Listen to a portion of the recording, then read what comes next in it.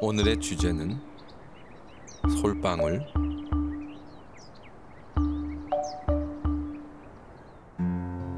솔방울 어디에서 왔을까?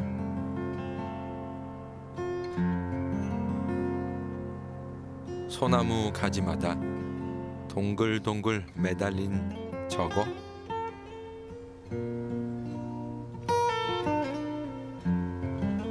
우리는 이 솔방울에 대해 한 번도 깊게 생각해 본 적이 없다.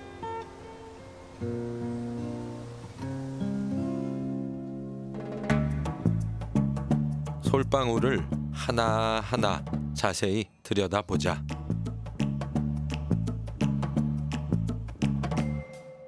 활짝 핀 솔방울은 꽃일까? 밤송이 같은 열매일까? 솔방울 정체가 뭐냐? 몹시도 궁금하다.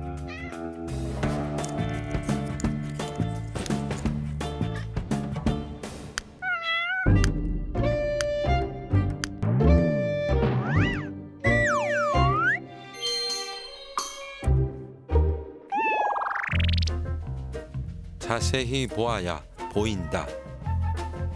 오래 보아야 알 수 있다. 솔방울도 그렇다. 촘촘한 이것들은 물고기에 빛나는 비늘 같기도 하고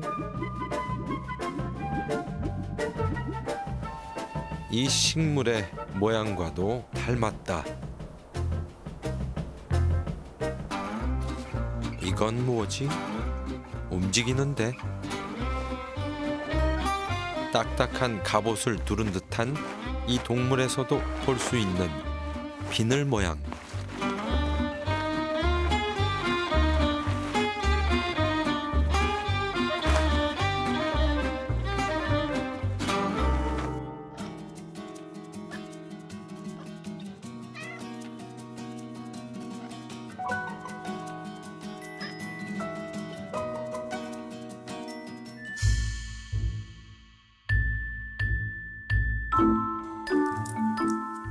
크기를 한번 재어보자.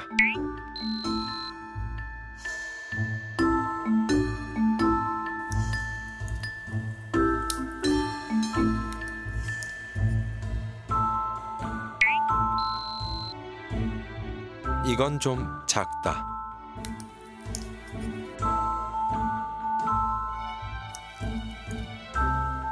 크기는 조금씩 다르지만 촘촘한 비늘의 모양은 비슷하다. 비늘이 몇 개인지 세어볼까? 하나, 둘, 셋, 넷, 다섯, 여섯, 일곱, 여덟. 어디서부터 셌었지? 헷갈린다. 그래서 찾았다. 대왕 솔방울. 인간은 도구를 사용하는 동물.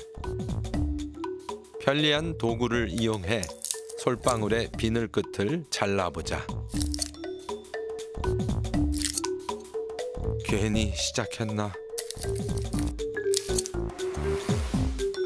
결코 쉬운 작업이 아니었다.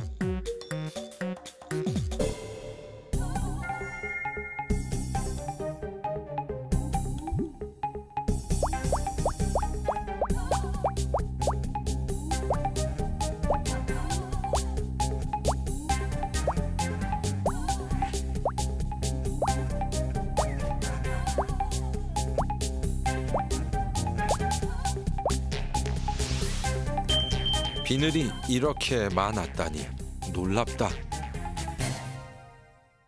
그런데 솔방울 옆에 적은 솔방울 친척? 이건 옆에서 보아도 위에서 보아도 솔방울인데 이건 솔방울이라기엔 어디서 보아도 다르게 생겼다.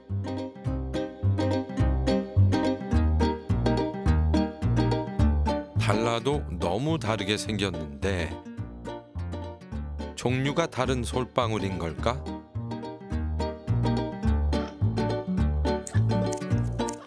보이는 것에 의문을 제기하라. 뭔가 다른 게 보일지도 모른다.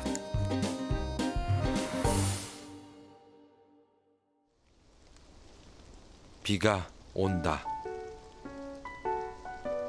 솔방울이 젖는다.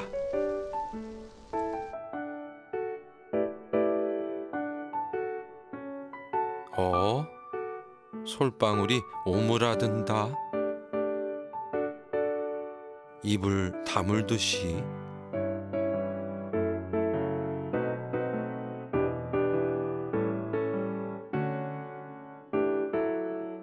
완전히 닫혀버렸다.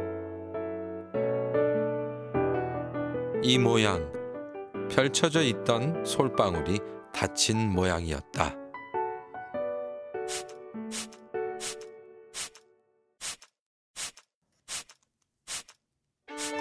다시 한번 비를 내려보자.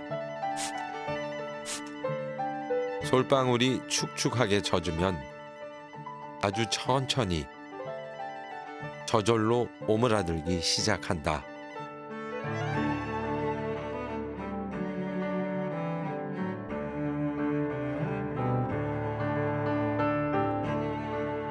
완전히 닫히니 도토리 같은 모습이 귀엽다.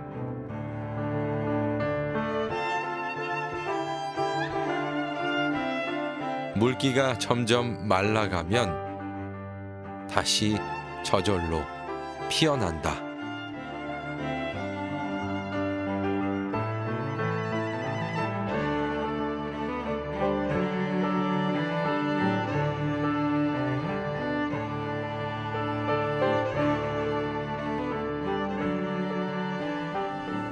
이것이 솔방울의 비밀.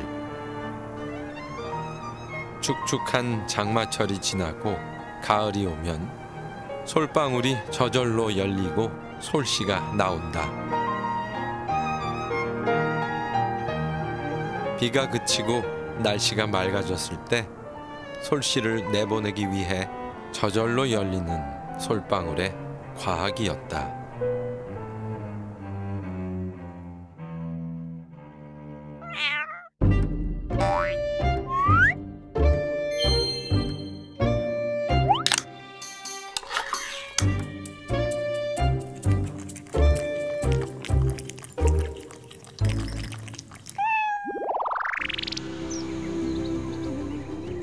세상의 모든 것들에는 생명을 이어나가기 위한 저마다의 방식이 있다.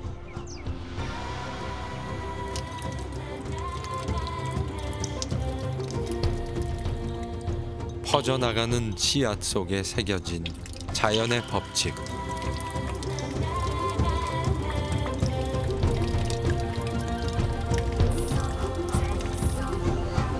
어쩌면 솔방울은 이미 알고 있었는지도 모른다.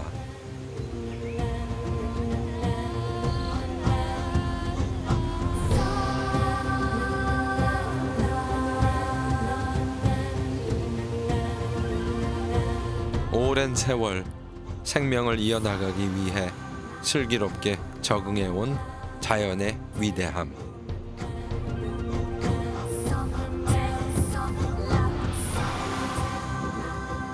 가장 놀라운 과학은 자연에 있다.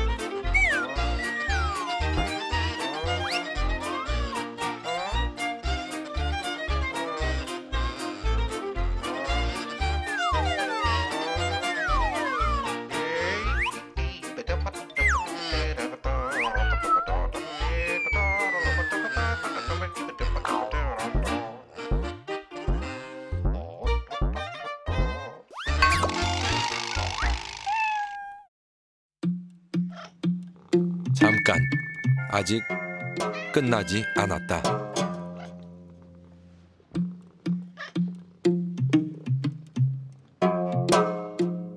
습도에 따라 모양이 변하는 솔방울. 솔방울과 같은 효과를 볼 수 있는 가전제품은 어떤 것일까?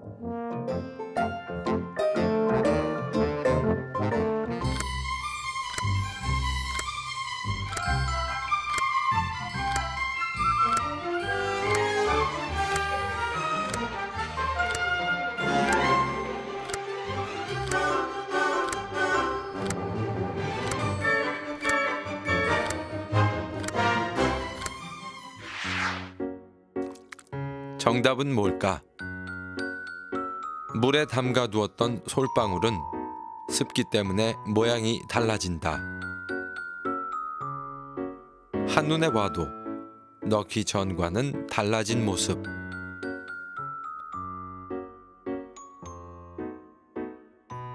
물기 없이 건조할 땐 벌어져 있던 솔방울이 물에 젖게 되면 이렇게 닫히는데 닫힌 솔방울을 다시 건조한 곳에 두면 머금고 있던 수분을 다시 발산해 가습기와 같은 작용을 한다.